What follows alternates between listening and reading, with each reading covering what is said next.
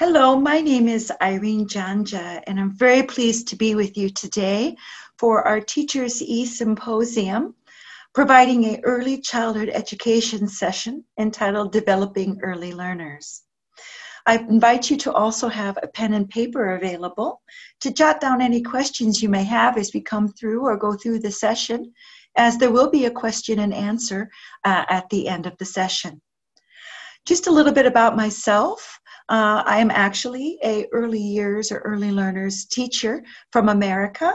I spent many years with young students in the classroom there, as well as in Turkey. And with Oxford University Press, I'm currently the business development manager. However, I do many projects and many teacher trainings, not only for early learners, but throughout other age groups as well. So it gives me great pleasure to be with you today. Our session will be about 30 minutes long, and there will be a question and answer session at the end, and I'm hopeful to join you live for that opportunity. So thank you for attending, and let's jump right into our Developing Early Learners session. The focus of our symposium is around global skills. This connect, collaborate, create. I'd like to share with you now our Global Skills Position paper, which you're able to find online very easily, the PDF. I invite you to download it. It's the most current research on global skills, giving you an outline of what they are and also some teaching strategies at various age groups. In terms of global skills, again, we're looking at critical thinking, collaboration, creativity, communication, information communications and technology, that digital component, which is very, very important. As you see now, we're coming through the, you to you and providing our symposium digitally in this time and, and day and age. So technology has never been more important. So global skills does cover that area. Throughout the session, I'll also be referring to lower order thinking skills and higher order thinking skills. So this comes to from us, to us rather, from Bloom's taxonomy. Those of you who remember your teaching, your teacher education years. So we're looking at those lower order thinking skills towards the beginning of our time, our early learners. And moving through as quickly as possible into higher order thinking skills, into that creating and applying and evaluating. Uh, we're looking at the global skills, the 21st century skills, the higher order, lower order thinking skills today in this session around a resource which we entitled Show and Tell. Show and Tell was created, uh, developed with, from the editors and publishers of Oxford University Press based on global skills research and impact studies. So it completely entails the 21st century skills, the higher order, lower order, as well as the early years foundation stage, which I'll share with you in a moment. Show and Tell offers a great variety of support for the teacher and learner and also parent, which we know is really important to have parental engagement uh, and support in the classroom as well as at home. I know many parents have expressed, what can we do at home to support our, our, our young learner? So here at our website, Oxford Teachers Club, you'll see support uh, for that teaching, uh, learning, and for that parental engagement. Here you will see 21st century skills with competence, this is used for the teacher if you're not quite familiar of what exactly 21st century skills are and you'd like a little bit more insight into what they are as, as well as what kind of strategies would be helpful for you in the classroom, this is where you would go. I'd also like to share with you Oxford OWL for Home. And this site uh, avails itself to reading, English, math, some activities for at school as well as kids activities area through a variety of age groups. Here we're going to just use it today as a focus point, uh, a place to find information about those early years or early learners. In terms of early learners, we I will find you will find I refer to them as young learners. Uh, you forgive me for that. For early learners, we're looking at the early years foundation stage, and this is critical to understand with students of the ages to three to five, as many uh, many countries use the early years foundation stage as a benchmark for their preschool objectives. This is broken into the early stage or foundation stage rather, is split into three prime aspects such as social, personal, and emotional development, communication, physical development, into four specific areas of literacy, mathematics, understanding the world, and expressive arts. And I've shared that with you today, not only for you to understand how the importance and make sure that you understand the importance of how critical it is to understand these prime and specific areas as we work with and collaborate and plan for our, our early learners. And also, they are completely touched upon within the show and tell resource. And I'll share that with you how they are incorporated as we move through the session today. So, in terms of areas of development, it's critical as a teacher to understand those benchmarks, pardon me, of physical development. Where are our students coming to us as young learners at a very young age? They should have had the development of gross motor skills, those large motor skills, and we are honing in on the fine motor skills. So, are they able to run? Are they able to sit? Do they have balance? These are important things to understand as a teacher, these benchmarks, uh, so that you can see if there's a deficit or if there's a there's a, a completion of that. This is a scope. So at an early, early age, our early learners should have these skills and they do develop as they go into primary. Areas of development in cognitive ability. Are they able to understand that rules, games, symbiotic play, starting with reasoning. These are, again, benchmarks of development for young learners or early learners that developed, develop on their learning journey. This social affective or social emotional development, that sharing, caring, playing uh, through play, friendship, that social aspect is extremely, extremely important for early learners. And we'll see that how that is incorporated within show and tell to highlight the importance of that with our young students. And let's not forget the most important thing we're here today for is this linguistic ability, not only in our first or native language, but in a second or third language. Many of our young students are exposed to a variety of language. So, in terms of linguistic, this does include mathematics as well. Uh, so, are they able to speak? Can they use simple sentences? Are they using de- demonstrative or demonstrative words? So, these are important things to understand, or important areas of development to understand at the beginning of the year to identify each and every student to see where they are along the spectrum. If we need to include more or less in our classrooms. This is the beginning of our units of show and tell. We start with that very big question in this KWL charting. This what do I know? What do I want to know? And what would I like to learn or what have I learned? But I invite you to take a step back prior to, I know you're eager as a teacher when you have a new resource to share with the students to just begin and dive in. And that's fantastic to do. That enthusiasm is fantastic. However, I invite you to first step back and see what do I need to prepare for my students or how can I prepare my students for success? What do I have at my fingertips to help me? Within every resource from Oxford University Press, and Show and Tell is not an exception, we have a teacher's guide. The teacher's guide, you can see here, it's a one page example, outlines very clearly the prime areas of learning, the objectives in that particular lesson, what specific areas are covered, such as communication, language, literacy. And I would like to point out to you as well that critical thinking, that 21st century skill, is incorporated absolutely throughout the resource. We give you a structure and open and closed end questions uh, to move you along if you're not as confident in teaching 21st century skills or the early years foundation stage framework. So before, prior to jumping in to any resource, please have a look at the teacher guide and specifically with show and tell, we arrive or provide for you a lot of support. Another interesting area that's very fundamental for the teacher to utilize is what we call a teacher's resource centers. So many of our resources have this particular resource center. However, this is the show and tell resource center. We have the teacher's guides, the word cards, number cards, resource banks for phonics, progress checks, assessment, and additional professional development. So, again, understanding what you have at your fingertips as a teacher in terms of young learners, very crucial, very crucial.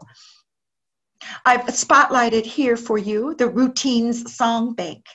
So, yes, we are covering and speaking of 21st century skills, global skills, higher order, lower order thinking skills, as well as the early years foundation stage. And one of the most crucial, crucial areas with young learners is routine. Routine is essential.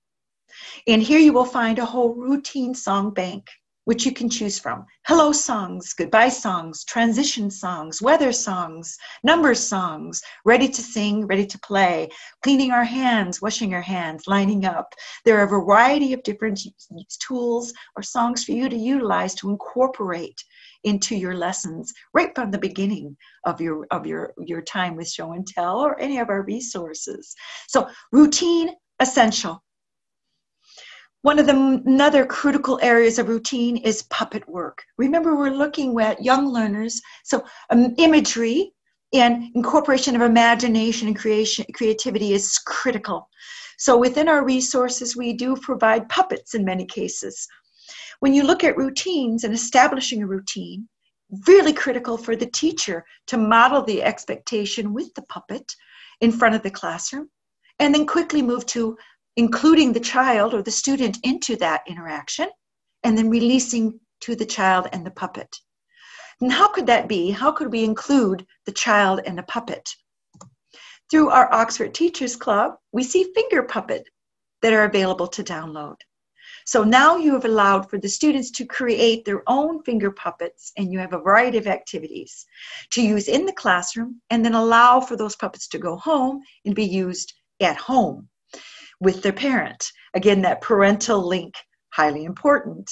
So the students are engaged with a movement and communication, prompting that collaboration with their parent and also with their peers in the classroom. Another wonderful opportunity for to building a routine is hello and feelings. So, how are you today is very critical. We do uh, pretty much in every preschool or young learner classroom a routine of good morning or hello or welcoming to the lesson using a routine song but diving, diving a little deeper into that. And how are you feeling today? I am happy. Don't stop there. Why are you happy? Why are you sad?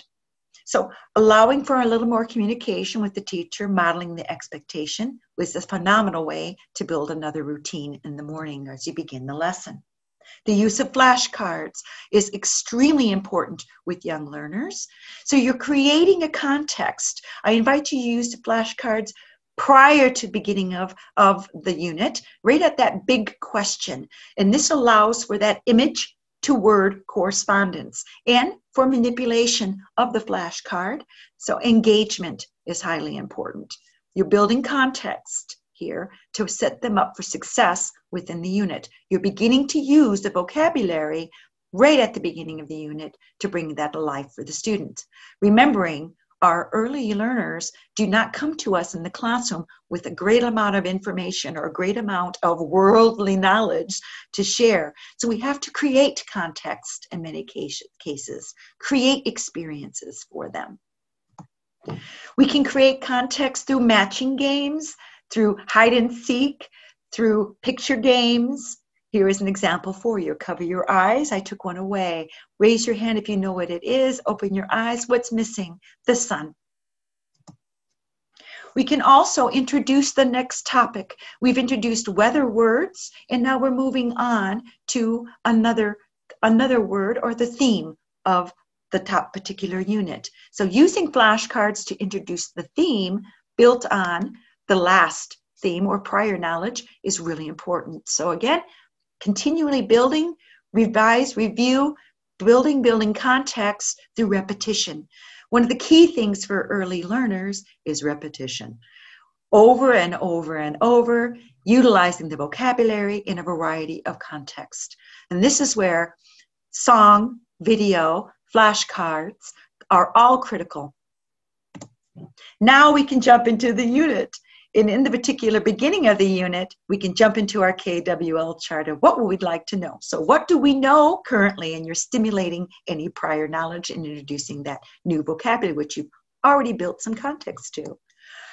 Here we are looking at the early years foundation stage of communication and language and literacy. We then move into the say it word or play with me, pardon me. So now we're including some physical development into our literacy. We're making learning active as quickly as possible, gaining that muscle memory. Many of you may have heard of TPR, that total physical response. So TPR is critical when we look at building our students' ability, agility with gross motor to fine motor skill. Fine motor skill is extremely valuable for us to focus on as we, they need to be prepared to move into primary and writing. So we want to make sure we incorporate as much TPR or physical development or muscle memory as possible. And here throughout our resource, we provide that opportunity. I shared with you a little recording mechanism within our resource. Students can not only hear the instruction or the song, but there's also an opportunity for them to record themselves and play it back. So, motivation, highly engaging and motivational for the students when they hear their own voice or their own creations. As you move through the unit, you see a lot of opportunity now for personal, social, emotional development and continuing of literacy. Read with me. So, again, we're building that context through shared story continuing building with the words of the focus of the unit through illustration, through prediction, through open and closed questions, and you're returning again, repetition, repetition, repetition, many times to the story. We then would encourage the students to use story characters or story cards to play with that story, to start building their own story and engage that touch of the flashcard to move around in sequence in, in the story is highly, highly, highly valued. We come back to the story and exaggerate it, retell it, encouraging the students to join in, adding new words, adding an ending, a new ending as additional part to the story, and in many cases, adding themselves as a character in the story. Highly motivational for the students and allows for them for a chance to communicate and engage. We move then on to the next part, which is a sing with me. So now Remember, we spoke of lower order to higher order thinking skills. We are allowing that memorization, that remembering through rhythm, memory, actions, activity, moving into understanding and applying now as we move from the beginning of the unit into towards the middle now. So now we've gone through memory and action and rhythm to understanding and starting to apply. I'd like to share with you there's an opportunity for staging when you come to songs. So in the initial initial chance or first exposure in the classroom, songs with actions, really important. Students copy those actions, that muscle memory, TPR. They sing it again, encouraging joining in with those actions and repeating a number of times, repetition, repetition, repetition. Less able students are able then to join in towards the end and more able students will pick up those chunks and support the lower ability students. Don't stop there. Come back again. Introduce a first verse and ask the students then to come in with the additional or maybe a new action, a new muscle memory, a new TPR movement to add to the song, adding verse by verse, a new action, a new action. Right? This allows for deep collaboration, of course, communication and creativity, and they're using critical thinking to come up with these new ideas and new actions and new words. It's highly motivational and engaging for the students. So staging of songs, extremely important. We move on to say it with me. We've allowed over the unit and to this point a lot of exposure for context. Now we need to build in and build upon more vocabulary. So here's our opportunity to now look at word cards and the creation of a word wall. Word walls can be done with our word cards, placing at the, a, the line, the visual line of the student as they enter the room and exit the room. So close to the door is preferable. And this allows for the opportunity for students to engage with the words to start create sentences or walk by and their eye catches a word and they say it out loud. Spontaneous, spontaneous learning. You can also use a word wall in terms of word bingo, miming it, Simon says. And I invite you to have a look at, say with me in terms of word families. So here in this unit, you see IP word family, the IM word family, the IN word family, and the UP word family. And your word walls can be organized that way as well. We move to values, extremely important with early learners, personal, social, emotional, and we're adding in mathematics.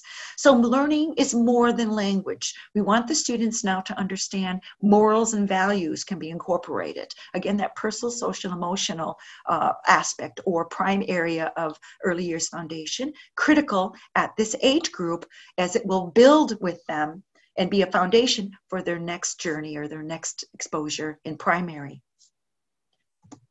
We built to explore with me, adding into, adding into mathematics and physical development. We're fostering creativity now because we've set the benchmarks, we've set the foundation, we now can be creative, much more so. So, in terms of mathematics, we're looking at shapes and incorporating now brainstorming activities. So, how can we represent shapes? Can we say them loudly, or quietly, or quickly? Or slowly. Triangle, triangle. Can we see them? Can we draw them? Do we see them in pictures? Do we see them in the room? Do we see them outside? Exploring our world around us now. Can we make them through a variety of different ways? Can we make a flashcard? Can we use paints? Can we use crayons? It's at this point as well that we use in the unit our progress, a little assessment opportunity. Progressing, check, and transition worksheets for those students who need a little extra revision.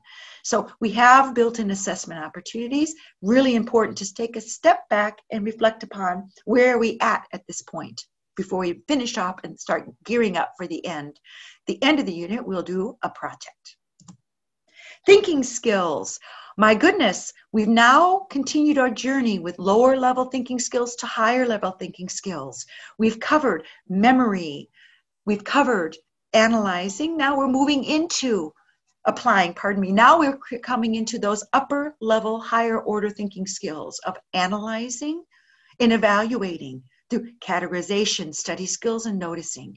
So the thinking skills uh, also incorporate expressive art and design and mathematics.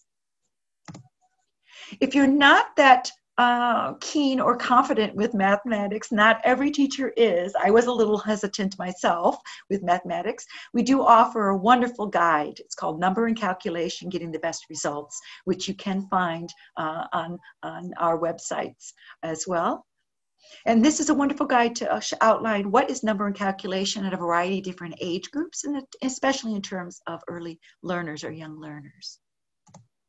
We move on to prepare for the big project at the end. And we'll see communication and language critical here because we've set the foundation. We want to make sure we allow a lot of opportunity for the students to use all the knowledge that they have gained through the unit.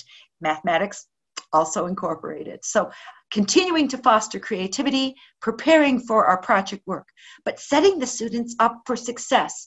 Again, critical before you release a project to any student to set them up for success to do it as a group first. So group application, all together we put together a project.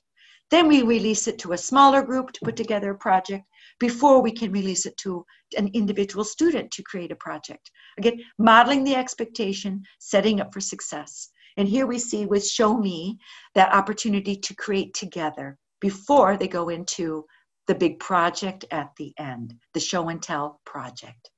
Here it's physical development, personal, social, emotional, mathematics, co- communication, collaboration, creativity, critical thinking, all combined because students will now be prepared and able and highly motivated to create their own project, their own work, and display it to their peers and also their parents. Speaking of parents, parent connection extremely important. We, we know that parents are vital and critical. Their support and their cooperation throughout the school year is really critical with early learners. Here we see a nice support for parent guides, Many of our resources also include Lingokids, which is an app for games and songs. The Lingokids uh, is gracious. We have a partnership with that. Much of our content is also available on app with Lingokids. So that nice connection in the classroom to the home through games and songs. We also have Oxford Parents, a website available in many, many languages which offers the support and guidance to parents about what activities, what things to do with young students, any student, variety of age ranges, but in particular young early learners. What can we do at home to support them? And what, why are we doing certain things in the classroom at certain ages? Or what are some developmental stages? So a little education of the, of the parent is nice and providing some support for them, always, always beneficial. I'd like to share with you one last piece of a wonderful website with you. It's on YouTube. It's called Oxford Owl Storytelling. Storytelling is a crucial, crucial part of students to hear the language in use, to expand upon the context that they've been exposed to. For instance, if you were doing the unit on the body, then you would go to the Oxford Owl Storytelling site and see a book that is read entitled Everybody Has a Body by the author, and he brings it alive with the characters. And this is a wonderful consolidation of language learning, a chance for the students to see the language in action and build on the context once again in a fun, inviting, and uh, imaginative way. Remember, repetition, repetition, repetition, really important with our early learners. Highlighted today in our session were the global skills 21st century skills, lower level to higher level thinking skills, the early years foundation stage framework, including of TPR, that total physical response. I hope that you found this session extremely beneficial and you've made some questions, made some notes to share.